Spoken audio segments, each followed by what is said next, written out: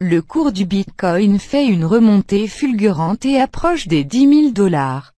Dimanche, le Bitcoin a atteint une valeur de 9 000 dollars, valeur qu'il n'avait pas approchée depuis un an.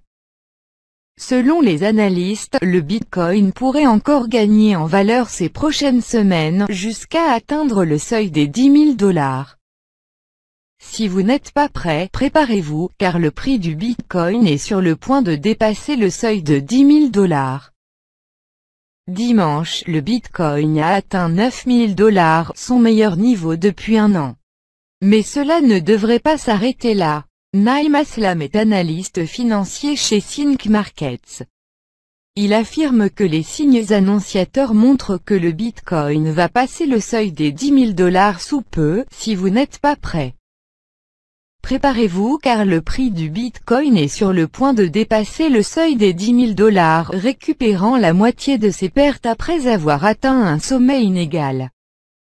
Selon l'analyste, le cap devrait être passé cette semaine ou la semaine prochaine. Après cette étape, le prochain niveau de résistance auquel le Bitcoin devrait se mesurer est celui des 15 000 dollars. Cependant rien n'est certain, cette crypto-monnaie n'est pas régulière ni prévisible, le Bitcoin pourrait ainsi très bien baisser. Revenir à 8000 dollars ou alors atteindre une étape intermédiaire comprise entre 10 000 dollars et 15 000 dollars.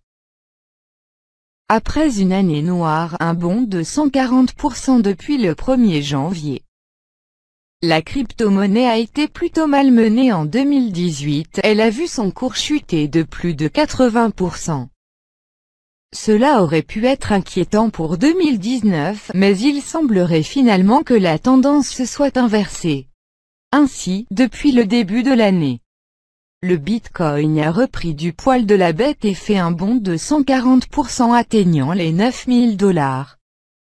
Comparé à sa valeur la plus basse du mois de décembre, il s'agit même d'un bond de 180%. À cette récente reprise du cours vers la hausse, Manuel Valente, directeur de la recherche chez CoinHouse propose une hypothèse. La guerre commerciale entre les États-Unis et la Chine joue sans doute un rôle dans cette situation. Le Bitcoin s'était effondré brusquement en 2018 après avoir atteint 19 500 dollars à la fin de l'année 2017. Depuis la monnaie virtuelle a connu de nombreuses fluctuations.